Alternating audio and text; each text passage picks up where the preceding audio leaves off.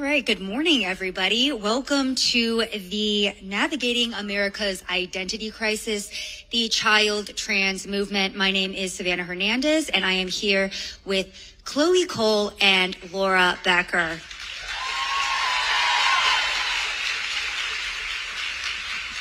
All right, y'all. So what we wanted to do with this panel today was because I think everybody here knows that transition in terms of children specifically is not the best thing in the world.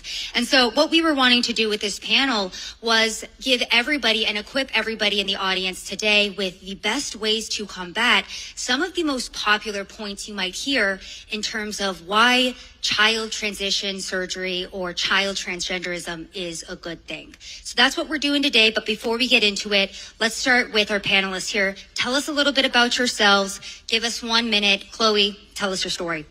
So I am a detransitioned advocate for the rights of children, of patients, and of parents. And I went through the process. Thank you. I went through the process of going through a medical gender transition while I was still a child between the ages of 12 to 16.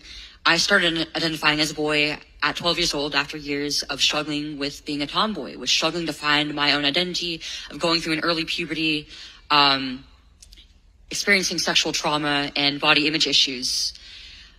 And at 13 years old, I was fast tracked in the process of medically transitioning, first starting with shots of Lupron to suppress my puberty, and shortly afterward, I was put on a weekly dose of testosterone shots.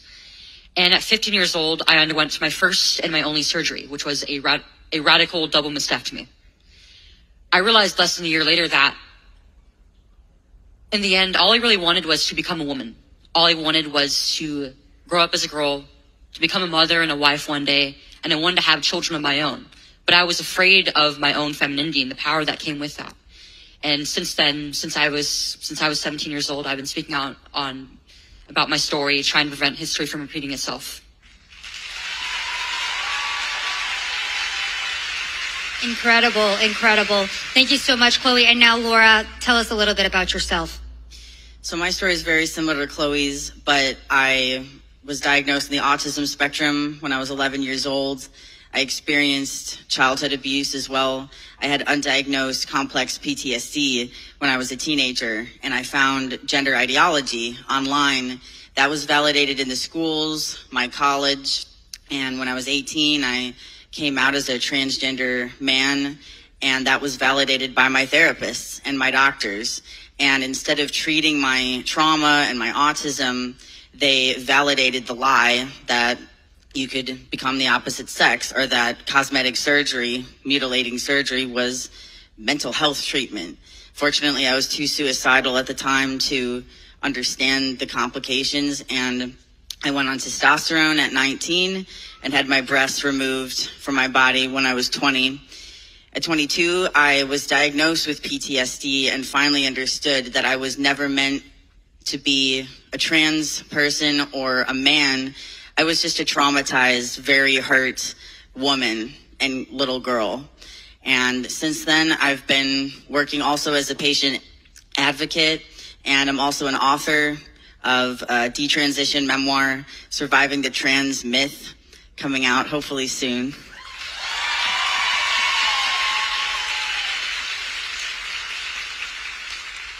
Well, you're both incredible, and um, thank you so much for being here. Now, my first question, and we'll direct it at Chloe first. One of the things that I hear, especially at a lot of these pride rallies and protests, is children as young as three know their gender identity. What is your response to that? There is no such thing as being born in the wrong body. And no child, no man or woman deserves to believe that about themselves.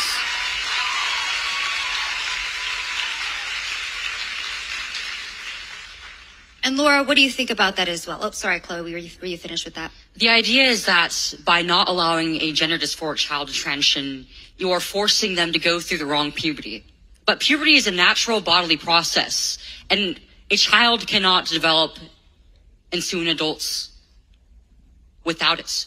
You cannot fully mature physically, sexually, or psychologically into an adult if you are not allowed to go through this process. And no child is equipped to make decisions regarding any of that, regarding the development of their own body, and whether or not they're able to have children as adults. All right, and Laura, another thing that I might hear too, on top of children as young as three might know their gender identity, is if you don't allow a child to transition, they may commit suicide. This is a, a very, I would say, hard, like hard thing to hear, right? Especially if you're a parent. So, if you're a parent who has a quote unquote transgender child, and this is what you're hearing, how do you combat that? So the suicide myth is one of the largest myths around with the transgender issue. It almost originated the myth that there is such a thing as a transgender person or a transgender child. Uh, there are two sexes, there are infinite personalities, and there are infinite ways to suffer within the human condition as a male or a female. That doesn't mean that we need to mutilate the body in order to, to temporarily soothe a delusion that someone would be better off without their intact body parts. So the suicide myth is the most pervasive manipulation that doctors, therapists, well-intentioned progressive idiots use to manipulate families and spread propaganda about this pseudoscience. So my response to that is we don't have data on the suicide rates. We don't have detransition data. We don't have empirical evidence because this is like lobotomy and experimental science, a get rich quick scheme for doctors and for progressive activists.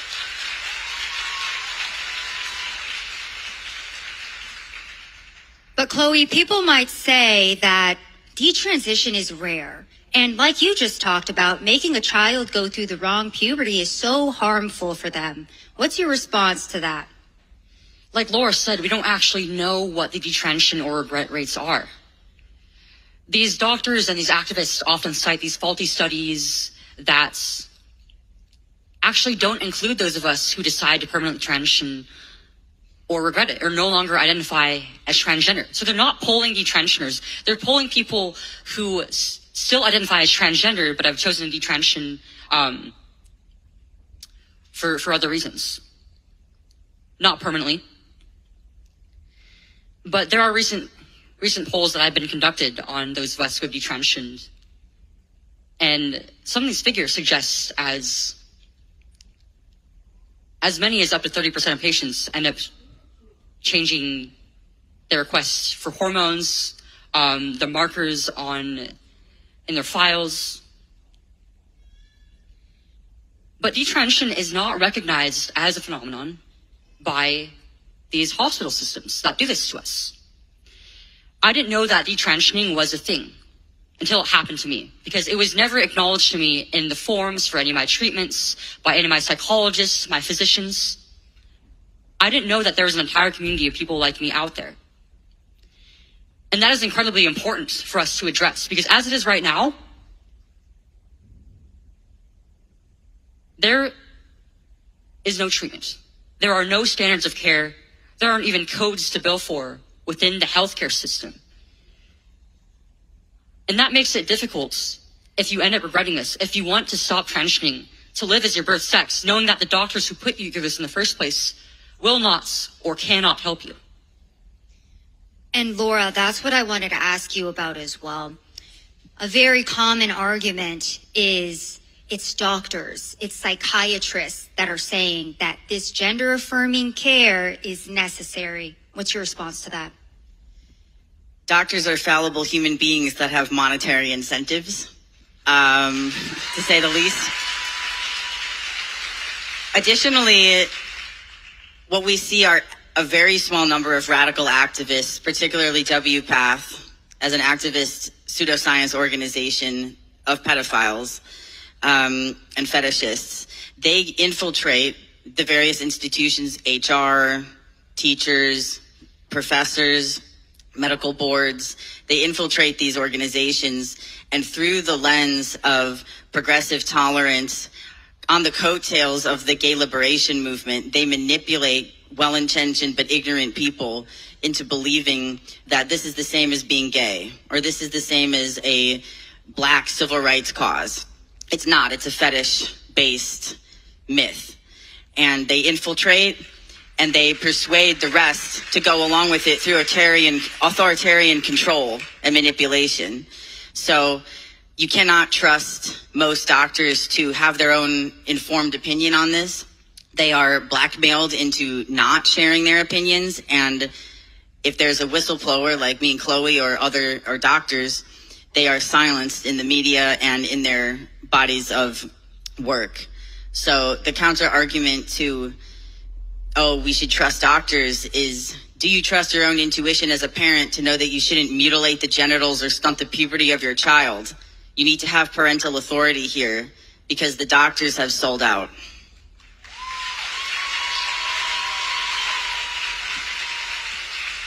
And it is these doctors that are prescribing puberty blockers, right? We're told that they're reversible. Chloe, I think you know a little bit about this. What is a puberty blocker? Is it reversible? What does it do to your body? So a puberty blocker, um, in most cases they use the medication Lupron, is a medication that suppresses puberty through means of suppressing the communication between the gonads ovaries in women um, and girls, or the, the testicles in in men and boys. And it's not reversible. Not a single part of this treatment is reversible. I'm still suffering complications from every single part of this. From the blockers, from the hormones, from the surgery, of course, and even from the social transition itself. It's the premise that you can just block a natural bodily process without any consequences. The idea that you can just stop a child in time so that they can make a permanent and what is ultimately an adult decision governing their bodies. It's ridiculous. There is no basis in reality. And Laura,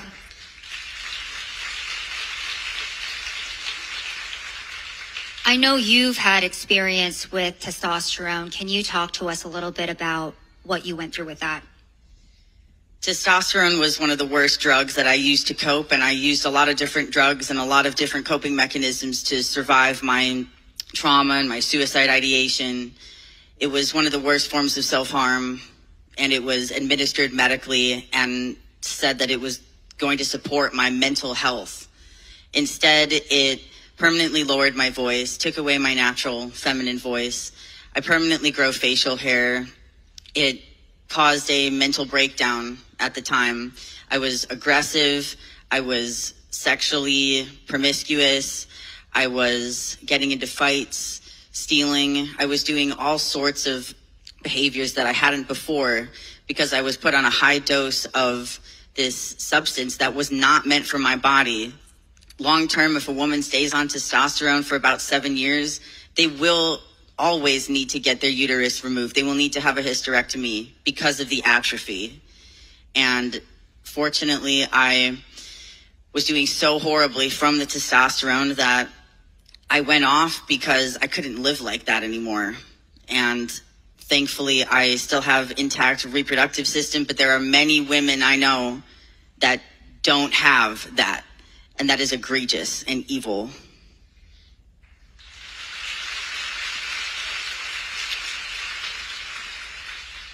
And I had a very similar experience on testosterone as well, especially with the behavioral and emotional um, difficulties. Um, I also started experiencing complications with my urinary tract about a year in because of the atrophy from from taking it. Um, I started. It got to the point that I was having UTI or UTI like UTI like symptoms um, almost every month to every other month. I was getting blood and clots of tissue in my urine. I don't know now if I'm going to be able to have children of my own. I have very irregular menses, and obviously I'm not going to be able to breastfeed children of my own.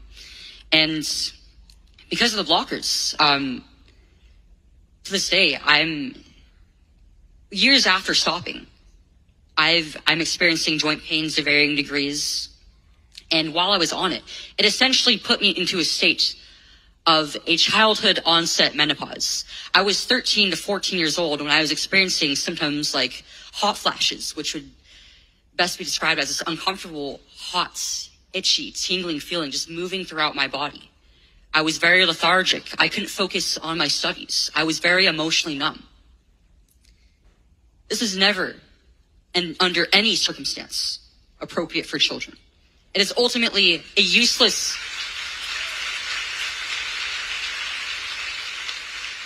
unnecessary physical treatments for a psycho- psychiatric condition.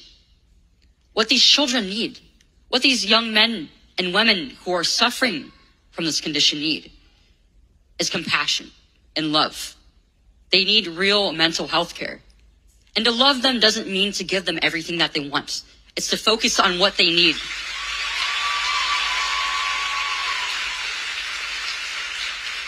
Even if that isn't in alignment with what it is that they want in the moment. And Chloe, I, I did want to jump in and ask you this too, right? Because we often hear that gender affirming care is health care and that it's rare for children to undergo transition surgery. I think you guys can both speak to this. We'll start with you, Chloe. I mean, whether it's rare or not, it's happening in the thousands, and under no circumstances is it okay.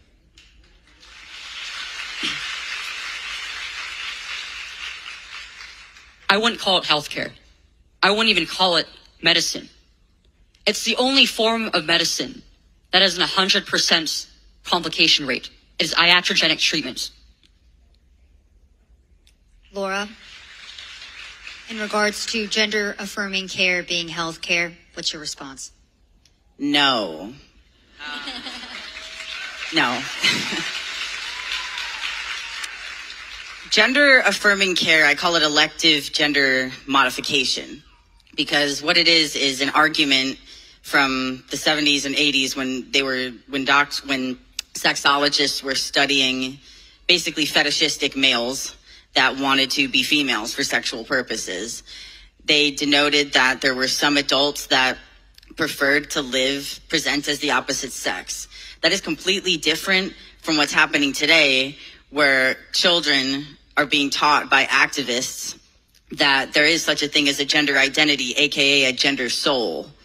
This is a spiritual belief and a delusion that we're being taught to accept as normal. And we don't need to validate people's spiritual beliefs, or certainly we don't need to act upon our parental authority or authority as a patient advocating for mental health treatment by accepting other people's forced religious or spiritual beliefs. If you start shifting your mindset from just a political issue to a spiritual, philosophical issue, you understand that this is nowhere near mental health treatment. This is a desire for enlightenment. This is a desire to separate the soul from the flesh and to become a different person so that you don't have to suffer. That's not going to happen. We're all going to suffer. We all have bodies. And so, no, it's not medical care.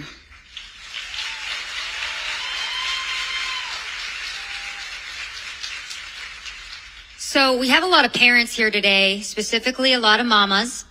And I think many moms have thought about the question because of the culture that we're living in now. How do I respond if my child comes up to me and says, I think I'm transgender? Chloe. I think that any parent, regardless of whether you're already dealing with this with your child or not, you should be empowering them with the truth you should be talking about this with them. From an early age, appropriate to whatever developmental stage that they're at, about the reality of this, to guard them against this ideology.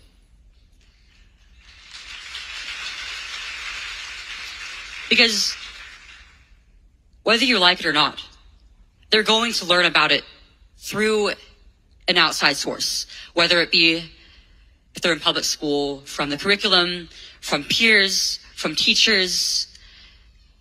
They'll discover it online, through their peer groups, and even through things such as like video game communities. It's everywhere. So you have to get to your child before, before outside sources do.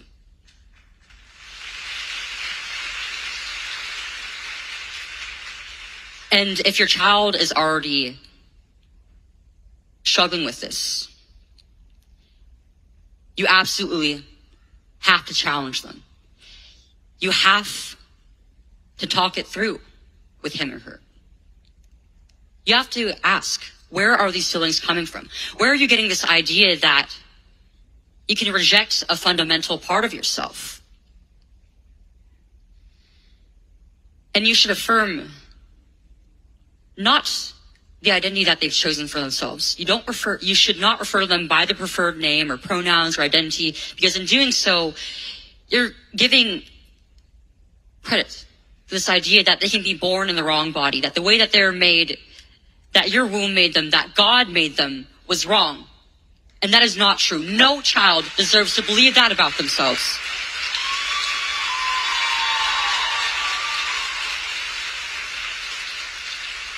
So we should help them build their identity through other means by affirming them in the loving way that God made them.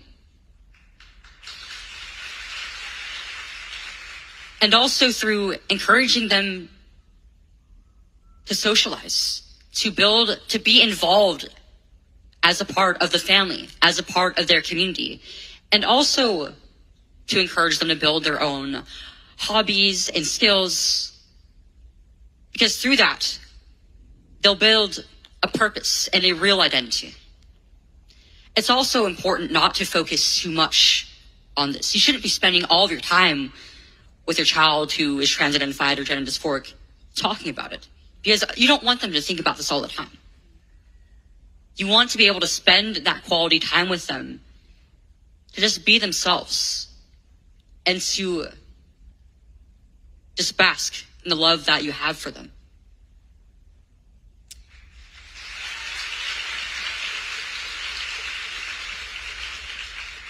And Laura, I wanted to ask you too, what are some warning signs that maybe parents can look out for? Or what do you think parents can do to protect their kids from this ideology? Like Chloe just said, you know, it seems like with the way society is, they are going to be introduced to it. What can parents do? Transgenderism and this ideology isn't that different from any other type of social contagion or any other mental health issue that a kid might have. So first of all, don't think that it's just this unique thing that exists in a vacuum. The best thing you can do for your child is love them and be close to them. Understand that they are looking for boundaries. They are looking for how far can I push this? What is reality? What is good? What is bad? It's just like anything else you need to develop a safe, loving place for your child to ask you questions, to feel like they can tell you things and not outsource that power to the internet, to their peers, or to any sort of doctor or uh, educator that comes in. I would suggest keeping your kids off the internet as much as possible. And being aware that if they do present with a non-binary or trans questioning identity, whatever their label is, make sure that you stay curious as you work through your own emotions about the situation privately. Come to your child after you work through that and say, tell me about this. I want to know about this. Be curious, be open because that child is experiencing some form of confusion and some form of pain. The pain must be validated the transgender identity should not be. And in our last minute here, what is the message that you guys would both give to a child who has maybe gone down this rabbit hole and fundamentally feels like, hey, maybe this isn't right? 15 seconds each. What is your message to potentially help that child? There is nothing wrong with the way that you're made. And the things that make you different are the things that make you unique, and they're all gifts. Everything that you have in your life is a gift that you should learn to cherish and grow with.